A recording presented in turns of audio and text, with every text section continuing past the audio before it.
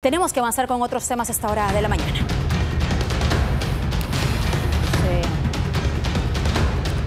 Bueno, vamos con otras noticias también importantes y preocupantes, sobre todo cuando estamos en temporada de verano, las familias acuden a las playas, pero ojo con la situación de peligro que se dan con bañistas que terminan atrapados o quizás ahogados. Decenas de personas rescatadas, Vladimir Rojas nos cuenta todos los detalles desde Cañete. Vladimir, buenos días. ¿Cómo estás, Vladimir? ¿Qué tal? Alicia, Fátima, muy buenos días, ¿cómo están?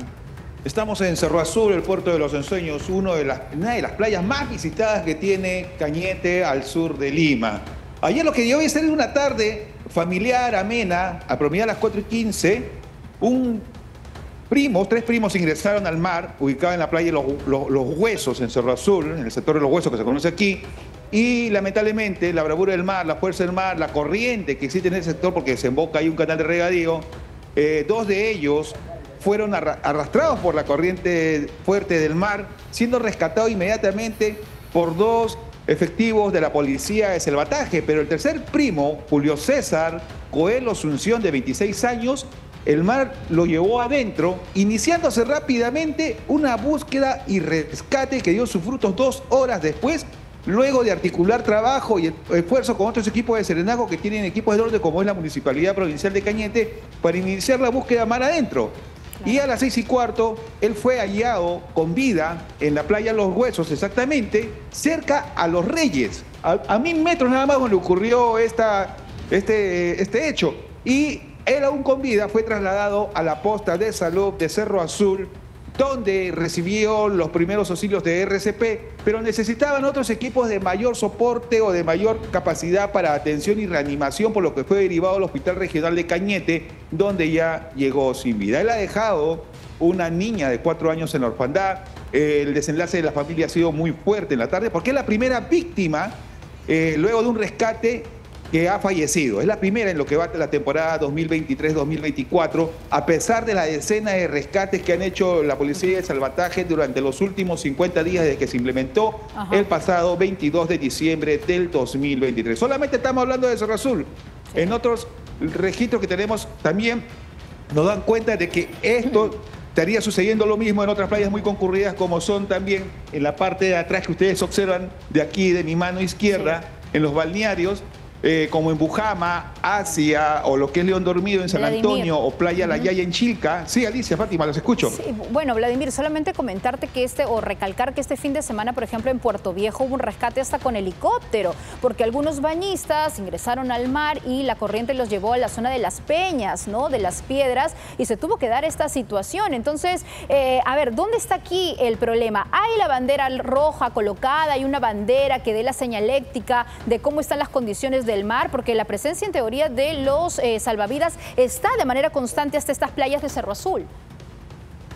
Sí, las banderas, como ustedes observan acá al lado y que despacio con la cámara de izquierdo, está la bandera roja debidamente ya advirtiendo los bañistas y veraneantes que el mar se encuentra un poco movido y que hay que tomar las precauciones del caso para poder directamente y igual que la policía de salvataje. Y sobre este trabajo hay trabajo que se viene articulando directamente entre policía, eh, municipalidad y también la sociedad civil.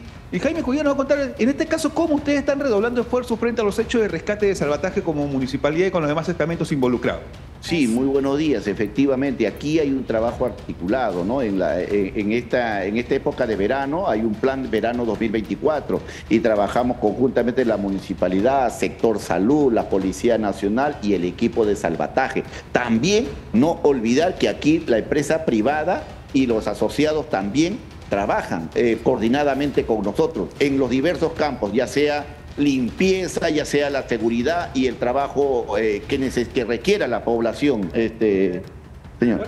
lo que observamos que muy temprano están ingresando bañistas también a la playa, ¿no? Hemos llegado, Fátima, Alisa, te cuento, antes de las seis y media de la mañana estamos acá y la gente está en la playa. ¿Y esto cómo ustedes lo están controlando? Nosotros de temprano venimos sacando a la gente de allá, del fondo ya le hemos sacado, salieron. Pero mira, nos vamos para allá y, vienen para acá. O sea, lastimosamente no entienden. Y mira, y hay niños en la playa y le hemos dicho, y sus padres también sentados al, al, fondo. O sea, no entienden la magnitud del problema que se genera en nuestro distrito.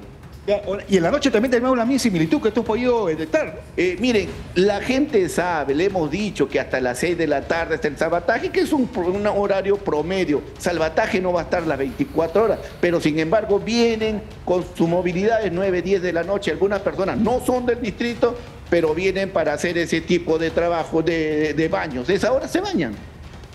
Ya observamos también zonas sombrías. Esto le permite a ustedes directamente también la visibilidad y accesibilidad para poder hacer desplazamiento de serenazgo, Jaime. Hay alguna, eh, tiene su parte y su contraparte. Ellos nos ayudan también en la limpieza, ellos nos ayudan también en, la ayuda, porque cada uno tiene, está tienen un cuadrante de apoyo, eh, de seguridad a los pobladores, entendiendo que no tenemos la magnitud de equipo de salvataje, recursos humanos para ello, pero muchas veces ellos nos ayudan también en este, en este trabajo que nosotros hacemos ¿no? en bien de la población. Muy bien. Bueno, esta es la información que tenemos a esta hora de la tarde. Solamente quiere implementar un poquito la policía de salvataje porque tienen una cuatrimoto que la municipalidad les ha facilitado, como también eh, en breve él lo va a anunciar, lo va a decir en las próximas horas, van a adquirir quizás este, esta moto acuática que requiere la policía de saltaje para correr rápidamente hacia la parte del mar. Esta es la playa de Cerro Azul. Mano izquierda mía donde ocurrió lamentablemente el hecho y es un lugar no recomendado para los bañistas. Mil veces decírselo acá para que sepa la gente en vivo y cumplan las medidas de seguridad que siempre están impartiendo los, el objetivo del Serenazgo y la policía cuando vienen aquí a Cerro Azul. Esta es la información que tenemos a esta hora del día para Latina Noticias desde Cerro Azul, Cañete, Alicia y Fátima. Gracias, Vladimir. Y de hecho todos queremos disfrutar del mar, hace mucho calor, pero es importantísimo guardar la prudencia del caso para evitar desenlaces fatales.